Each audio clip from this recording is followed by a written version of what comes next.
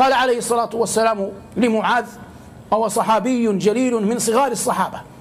قال يا معاذ والله إني لأحبك.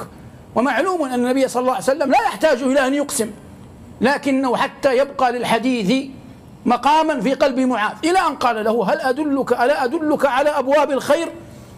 أي أن الخير لا يمكن أن يكون محصورا في شيء واحد لأنه قلنا إنه محصور محصور في الصدقة لضاع الفقراء. ولو قلنا إنه محصور في الصيام لضاع المرضى لكن الله عز وجل جعله منفتحا. قال جل قال صلى الله عليه وسلم ألا أدلك على أبواب الخير؟ الصوم جنة والصدقة تطفئ الخطيئة كما يطفئ الماء النار. هذه أول أولى الخطوات. والصدقة تطفئ الخطيئة كما يطفئ الماء النار. وفي حديث تطفئ غضب الرب. فكلنا ذو خطأ كلنا يقع منه من الخطأ ما يقع. فعندما يكون يكون الإنسان متصدقا على الأقل بهذه الصدقة يدفع غضب الله عنه أي يدفع غضب الله عنه في الدنيا حتى لا يبادر بالعذاب.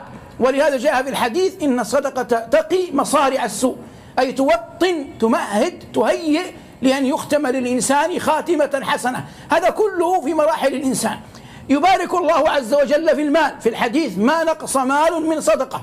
إذا الإنسان يتقي الذنوب التي هي أعظم ما على كاهله ما على ظهره والأمر الآخر يبارك الله عز وجل في في ماله.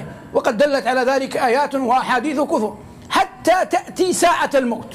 ساعة الموت ما الروح؟ الروح شيء لا نعلم كنها. ويسألونك عن الروح قل الروح من أمر ربي. أعطاها الله عز وجل ملك. هذا الملك يأتي لبني آدم وهم أجنة في بطون أمهاتهم.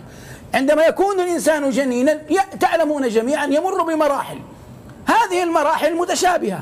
إن كان نطفة إن كان علقة إن كان مضغة مخلقة غير مخلقة حتى يأتي الملك ينفخ الروح يتغير الوضع. قال الله عز وجل فكسونا العظام لحما. ثم قال ثم أنشأناه خلقا آخر. خلق مختلف. لماذا خلق مختلف؟ لأن يدخل فيه الحركة يدخل فيه الاضطراب.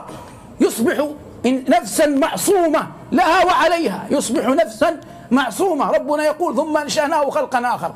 هذا الملك عندما ينفخ الروح أين تذهب الروح؟ ليس للروح مستقر واحد في البدن. الروح تأتي في الجسد كله في كل الجسد. لا يبقى موطن في الجسد إلا والروح فيه مكان. فيصبح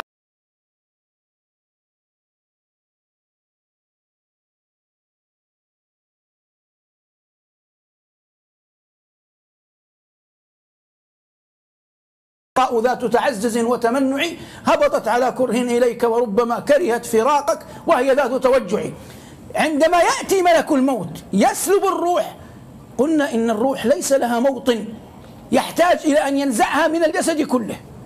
فلو جئنا بها بالطريق الآلي المحض لكان في نزعها مشقة. لكن كلما كان للعبد عمل صالح أمر ذلك الملك الذي ينزع الروح أن ينزعها برفق. ويعطيه الله قدرة على أن ينزعها برفق. هنا تأتي الأعمال الصالحة. الأعمال الصالحة هي التي تكون بين عيني الملك قبل أن يقبض الروح. فعلى قدر العمل الصالح يكون نزع يكون نزع الروح. فتأتي الصدقات من أعظم القربات عند الله عز وجل. إن تبدوا الصدقات فنعم ما هي. ولما قيل لأبي الدرداء وهو أحد حكماء وكبار الصحابة قيل له فضل الصوم. قال إن الصوم ذو فضل لكن ليس بذاك يعني لا يصل إلى المحل الأرقى. فلما سئل تلا قول الله عز وجل لن تنالوا البر حتى تنفقوا مما تحبون. لن تنالوا البر حتى تنفقوا مما تحبون. تأتي الصدقة تأتي الصلاة من قبل تأتي بأمور الدين تجعل الملك يرفق بهذه الروح إن كانت روح جسد إن روح رجل أو روح امرأة وهو ينزعها. ثم كل أحد أمد الله في أعمالكم على طاعته يخلى بينه وبين قبره تحل عنه أربطة الكفن. تأتي الصدقة. قال صلى الله عليه وسلم إن الصدقة لتذهب عن أهلها حر القبور. إن الصدقة تذهب عن أهلها حر القبور. كتب الله جل وعلا أن هذه القبور مملوءة ظلمة هذا في الأصل على أهلها مملوءة حر على أهلها. تأتي الأعمال الصالحة. والنبي عليه الصلاة والسلام لما صلى على قبر امرأة لم يدرك تشييع جنازتها قال إن هذه القبور مملوءة ظلمة على أهلها وإن الله ينورها عليهم بصلاة عليهم. صلوات الله وسلامه عليه. فدعاءه صلى الله عليه وسلم وصلاته ليست كصلاة ودعاء غيره. كذلك أعمال صالحة نص هو عليها وهو الصادق المصدوق.